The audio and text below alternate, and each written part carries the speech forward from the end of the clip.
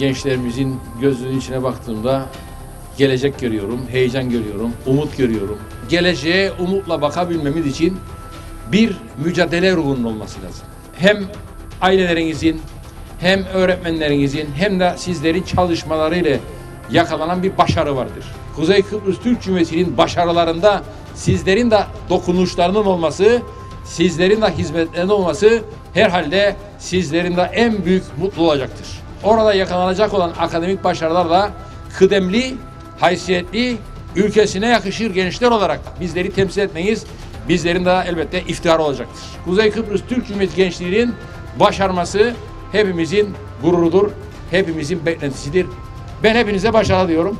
Hepinizle ayrı ayrı tanışmaktan dolayı duyacağım gururu bir kez daha ifade etmek istiyorum.